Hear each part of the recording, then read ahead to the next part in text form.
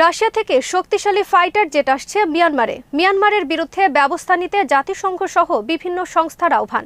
Kherson Donbas সহ চারটি অঞ্চল এক সপ্তাহের মধ্যে যুক্ত হচ্ছে রাশিয়ার সাথে। বিরিভিউজ ইনফোটেনমেন্টে স্বাগত জানাচ্ছি, আমি সুস্মিতা দাস। আজ জানাব প্রতিরক্ষা সংক্রান্ত গুরুত্বপূর্ণ কিছু খবর। রাশিয়ার কাছ থেকে শক্তিশালী ফাইটার জেট ডেলিভারি পেতে যাচ্ছে মিয়ানমার। এর নাম এসইউ থার্টি এস এম। এটি একটি দুই ইঞ্জিন বিশিষ্ট মাল্টিরোল ফাইটার জেট। মিয়ানমার সেনা সরকার মুখপাত্র মেজর জেনারেল জ মিনতুং মঙ্গলবার জানান, সেনা সরকার প্রধান চলতি মাসে রাশিয়া সফরের সময় এসব বিমান প্রোডাকশন এবং টেস্টিং পরিদর্শন করেছেন। বর্তমানে রাশিয়ার ইরকাস্টক এভিয়েশন প্লান্টে রাখা আছে এসব বিমান। পরিদর্শন শেষে সেনা সরকার প্রধান মিন অং লাইন বলেছেন, শিগগির এসব বিমান দেশে আসতে যাচ্ছে।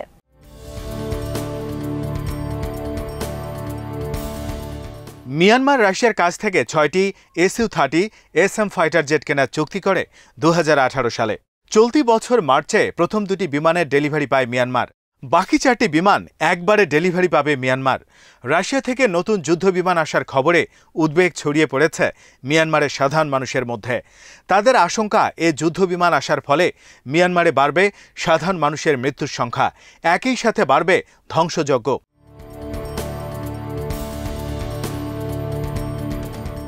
মিয়ানমার আর্মি বর্তমানে বিদ্রোহ দমনের লক্ষ্যে দেশব্যাপী বিমান ও হেলিকপ্টার থেকে আক্রমণ পরিচালনা করছে। এতে ব্যাপকভাবে মারা যাচ্ছে সাধারণ মানুষ। গত শুক্রবারও মিয়ানমারের কেন্দ্রীয় রাজ্য স্যাগাংয়ের একটি গ্রামে মিয়ানমার আর্মির হেলিকপ্টার অভিযানে নিহত হয়েছে এগারো শিশু। মিয়ানমারে নতুন যুদ্ধ বিমান আসার খবরে উদ্বেগ ছড়িয়ে পড়েছে বাংলাদেশের সীমান্ত অঞ্চলেও। বাংলাদেশ সরকার বারবার প্রতিবাদ করার পরও থামছে না। বাংলাদেশের অভ্যন্তরে মিয়ানমার আর্মির মটার শেল পড়ার ঘটনা।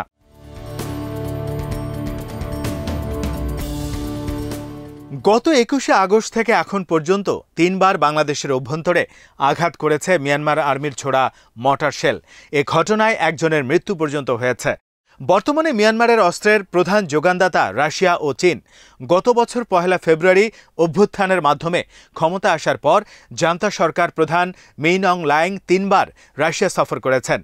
জাতিসংঘ মানবাধিকার সংস্থা শুক্রবার বলেছে, রাশিয়া যখন যুদ্ধ বিমান ও হেলিকপ্টার পাঠাচ্ছে, তখন চীন মিয়ানমারে পাঠিয়েছে যুদ্ধ বিমান ও সামরিক পরিবহন বিমান। সার্বিয়া পাঠিয়েছে রকেট এবং আর্টিলারি শেল। ভারত পাঠিয়েছে একটি remote air defence station.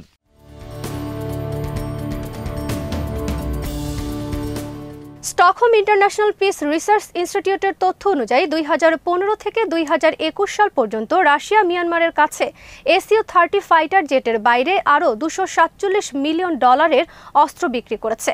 এর মধ্যে রয়েছে MiG twenty nine fighter jet, Yak one thirty combat প্রশিক্ষণ বিমান, MI sixteen, MI twenty four ও MI thirty four combat helicopter সহ অন্যান্য অস্ত্র।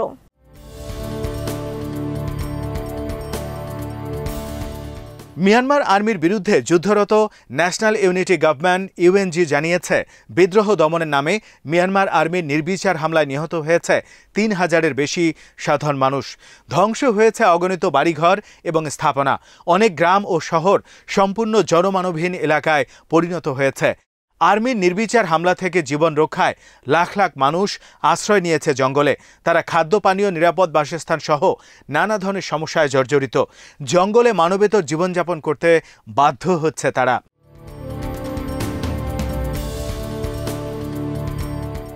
গত শুক্রবার স্যাগ্যাং রাজ্যে হামলায় এগারো শিশু নিহতের ঘটনা ঘটে। তাতে মিয়ানমার আর্মি, রাশিয়ার তৈরি এমআই থার্টি ফাইভ হেলিকপ্টার থেকে হামলা চালায়। এ ঘটনায় জাতিসংঘ আসিয়ান সহ বিভিন্ন সংস্থার পক্ষ থেকে ক্ষোভ প্রকাশ করা হয়েছে মিয়ানমার আর্মির বিরুদ্ধে। অ্যামনেস্টি ইন্টারন্যাশনাল সহ বিভিন্ন সংস্থা জানিয়েছে, চলতি বছরের শুরুতে মিয়ানমার আর্মি কায়া এবং কারেন রাজ্যে বিমান ও হেলিকপ্টার থেকে হামলা চালিয়ে কয়েক ডজন বেসামরিক লোকজন হত্যা করেছে। তারা আটটি স্থানে বিমান হামলা চালিয়েছে, যেখানে পুরোপুরি বেসামরিক লোকজন বাস করে। মিয়ানমার আর্মির হামলায় ধ্বংস হয়েছে সাধারণ মানুষের বাড়িঘর।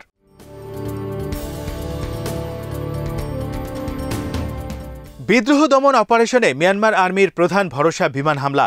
বিভিন্ন এলাকায় গ্রাউন্ড ফোর্স বিদ্রোহীদের কাছে পরাজিত হয়েছে। ফলে বিমান ও হেলিকপ্টার অভিযানের কৌশল নিয়েছে মিয়ানমার আর্মি।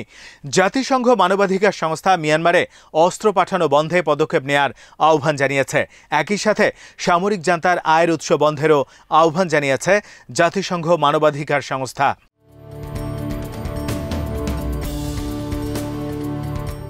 জাতিসংঘ জানিয়েছে অভ্যুত্থানের পর মিয়ানমারে দশ লাখের বেশি সাধারণ মানুষ ঘর ছেড়ে অন্যত্র আশ্রয় নিতে বাধ্য হয়েছে। এর মধ্যে কেবলমাত্র স্যাগাইং রাজ্যেই পাঁচ লাখের বেশি মানুষ গৃহহারা হয়েছে মিয়ানমার আর্মির হামলার কারণে। ইরাপতির খবরে বলা হয়েছে, বিভিন্ন গ্রাম ও শহরে অভিযানের সময় মিয়ানমার আর্মি সামনে যাকে পায় তাকেই হত্যা করছে।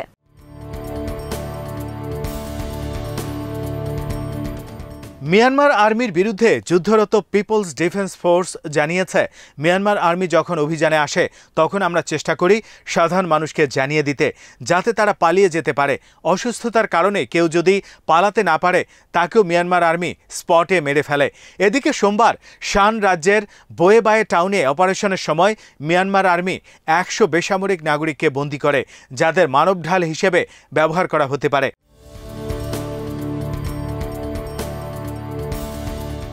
এক সপ্তাহ আগে মোয়েবায়ে শহর থেকে জান্তা সেনাদের হটিয়ে দখল করে বিদ্রোহীরা। চার দিনের এ যুদ্ধে নিহত হয় পঁচাশি জন জান্তা সেনা। সোমবার মিয়ানমার আর্মি শহরটি পুনরায় দখলের উদ্দেশ্যে অভিযান চালায়। এ সময় পিপলস ডিফেন্স ফোর্স, জাতিগত কারিনী, ন্যাশনালিটিস ডিফেন্স ফোর্স এবং কারিনী আর্মির সাথে যুদ্ধ ছড়িয়ে পড়ে, কিন্তু আর্মি শহরটির নিয়ন্ত্রণ নিতে পারেনি। ইরাবতীর খবরে বলা হয়েছে, এখনও যুদ্ধ চলছে সেখানে।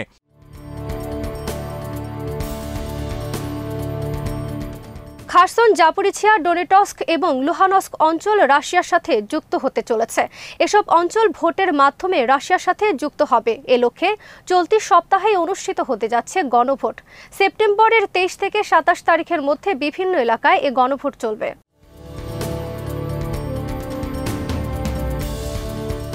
ভোটের পর খারসন ঝাপরিজিয়া ডোনেটস্ক এবং লুহানস্ক অঞ্চল পরিণত হবে রাশিয়ার অংশে। এসব এলাকা লোকজন পাবে রাশিয়ান পাসপোর্ট। ইতিমধ্যে খারসনের প্রায় সব অধিবাসীদের কাছে দেয়া হয়েছে রাশিয়ান পাসপোর্ট। রাশিয়ান পাসপোর্ট গ্রহণের কারণে খারসনের মানুষকে রাশিয়ার দালাল আখ্যায়িত করেছে ইউক্রেন। রাশিয়ার এই উদ্যোগের প্রতিবাদ জানিয়েছে ইউরোপিয়ান ইউনিয়ন সহ পশ্চিমা বিভিন্ন দেশ।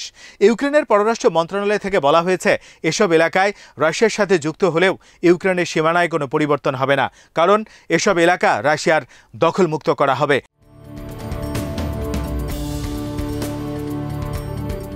পশ্চিমা গণমাধ্যমের খবরে বলা হয়েছে, রাশিয়ার সাথে যুক্ত হওয়ার পর এসব এলাকায় ইউক্রেনের হামলাকে রাশিয়া তার দেশের উপর হামলা হিসেবে আখ্যায়িত করবে। রাশিয়ার পার্লামেন্টে পাশ হওয়া এক আইনে বলা হয়েছে, রাশিয়ার সাথে যোগ দেওয়া এলাকায় যারা কোনো রাষ্ট্রীয় সম্পদ ধ্বংস করবে, তাদের বিরুদ্ধে কঠোর ব্যবস্থা নেওয়া হবে। রাশিয়া দু হাজার চোদ্দ সালে ক্রিমিয়াকে গণভোটের মাধ্যমে রাশিয়ার সাথে যুক্ত করে। একই আদলে এখন ইউক্রেনের নতুন দখল করা এলাকাতেও রাশিয়ার সাথে সংযুক্ত করা হচ্ছে।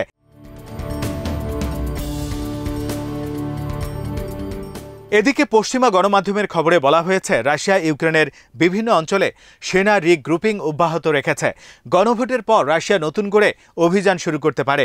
ব্রিটিশ প্রতিরক্ষা মন্ত্রণালয় থেকে বলা হয়েছে, ইউক্রেনের দীর্ঘপাল্লার মিসাইল হামলার আশঙ্কায় রাশিয়া কৃষ্ণ সাগরে নিরাপদ দূরত্বে সরিয়ে নিয়েছে, সেখানে মোতায়েনকৃত কিলো ক্লাস সাবমেরিন।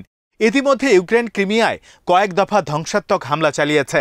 ইউক্রেনের কাছে হিমার্স অ্যান্টিশিপ মিসাইল হারপুন আসার পর রাশিয়া বিভিন্ন যুদ্ধক্ষেত্র থেকে তাদের সেনা অবস্থান এসব মিসাইলের আওতার বাইরে নিয়ে যাচ্ছে।